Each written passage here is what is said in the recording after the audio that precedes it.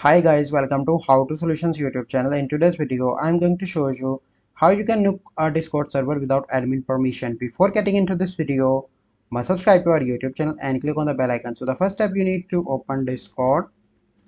So once you open Discord, so here you need to log in into your account and click on open Discord so to do unlock you simply need to so here you can see your discord account.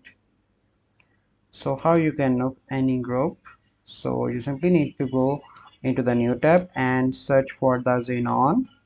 And once you are here you simply need to click on xenon discord and click on xenon bot and add xenon bot to your discord account. Once you add it you can simply nuke a discord server. So this is a process by which you can nuke a discord server I hope you find this video helpful. If you find this video helpful, must like this video, subscribe to our YouTube channel for future videos. We'll see you in the next video. Thank you. Have a good day.